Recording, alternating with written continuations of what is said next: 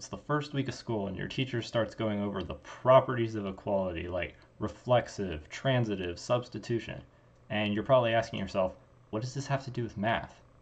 Well, I'm wondering the same thing, but let's do it anyway. So our first property of equality is the reflexive property.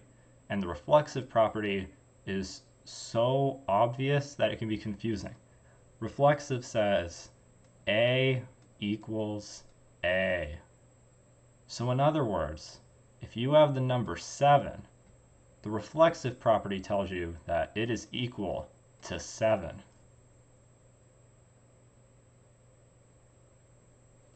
I didn't know this needed a name, but it does. It's called the reflexive property. So if you ever see something equal to itself, it's the reflexive property is the name for the rule that says you can do that. Next property of equality is the symmetric property, which is almost as obvious as the reflexive one.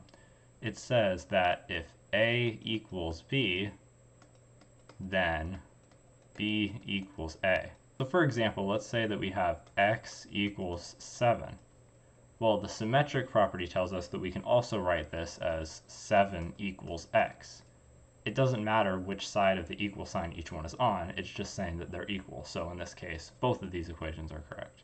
So now we get into the less obvious ones, which are transitive and substitution. So transitive basically says that if A equals B and B equals C, then a equals C. So if the first thing and the second thing are equal, and the second thing and the third thing are equal, then the first and the third thing must be the same, right? For example, let's say that we know that 5 is equal to x. So we know that 5 and x are the same. We also know that x and y are the same. x and y are equal. x equals y. In that case, we can combine these two statements and say that 5 is the same as y. Because 5 and x are the same, x and y are the same, so 5 and y must be the same. We're connecting the two equations together. And finally, we have the substitution property of equality. This basically says that if you have a and b and they're equal, then in any equation, a and b can replace each other because they're the same. So for example, let's say that we know that x and 5 are equal to each other. And then let's say we had some sort of complicated equation like x squared minus y cubed equals 4z.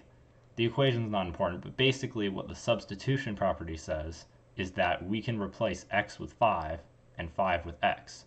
So if we replaced x with 5 in this equation, we now have 5 squared minus y cubed equals 4 times z. These two equations right here are the same because we you can replace x with 5 and 5 with x. So let's look at our first example of putting this to use. We're going to identify in each of these problems what property of equality we're dealing with. So here's the first one. I want you to think about those four different properties of equalities we talked about and come up with which one you think this represents. So go ahead and pause the video and try it yourself.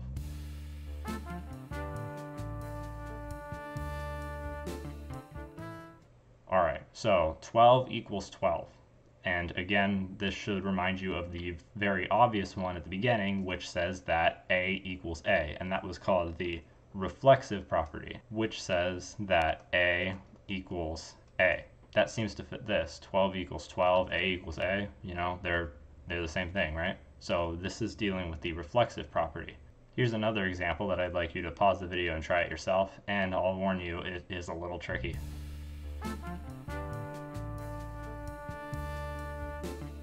So this is a more complicated one, so it's probably going to be one of the last two, which were transitive and substitution. And if you remember the transitive property, it said that if A equals B and B equals C, then A has to equal C.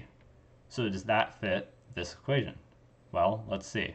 We have A minus 3 equals B, and we have B equals 8.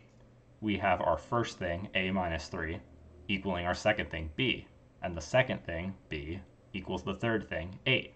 So in that case, we should be able to say that a minus 3 equals 8, because they're the same. And that fits this problem. So therefore, it's the transitive property, except that a lot of you might have said, substitution. And this is where I start having problems with textbooks. You see, your textbook probably had a problem very similar to this, and it said, oh, it's the transitive property. But you might have also noticed, well, well, hey, we have a minus 3 equals b, and b is equal to 8, so they just replaced b with 8. And it works. Yeah, um, it, it, represents two different properties of equality. So substitution would also be correct. And if you did something like this and your teacher marked you off for it, I would explain this to your teacher because it, this does represent two different properties of equality. Here's another example. Go ahead and pause the video and try this.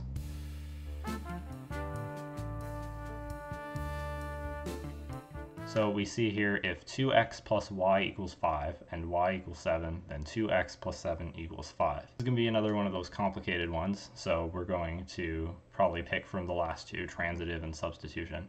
And if you look at it closely, you'll notice that the transitive property doesn't actually work here. We have 2x plus y equals 5. So 2x plus y is our first thing, and 5 is our second thing. But then our second equation, y equals 7 well, yeah, 7 is our third thing or whatever, but y? that's a part of our first thing. So that's not really going to work with that specific formula. Instead, let's go ahead and look at the substitution property. The substitution property says that if we have two things equal to each other, then they can replace each other in equations. And if you see here, 2x plus 7 equals 5, what's the difference between this first equation and this new equation? Well, all we've done is we've replaced y with 7. And our second equation says that y equals 7. So what we've done is we've substituted y with 7. So therefore, we have the substitution property in this equation. Just the substitution property, nothing else. There's no tricks here. So that's it for our properties of equality. And so as always, if you have any questions, you can leave it in the comments. And if you're ready to start actually doing real math, you can start that with this video right here. Thanks for watching.